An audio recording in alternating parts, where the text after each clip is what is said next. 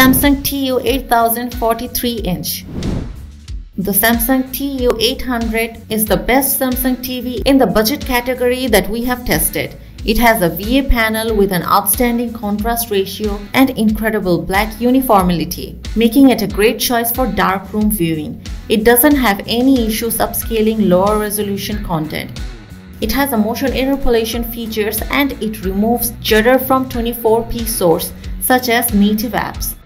It also has decent out-of-the-box color accuracy, but this may vary between units. Unfortunately, it's best to avoid using it in well-lit environment. It has decent reflection handling, but it doesn't get bright enough to combat glare. Also, it doesn't deliver a satisfying HDR experience because it can't display a wide color gamut and doesn't get bright enough to make highlights stand out how they should.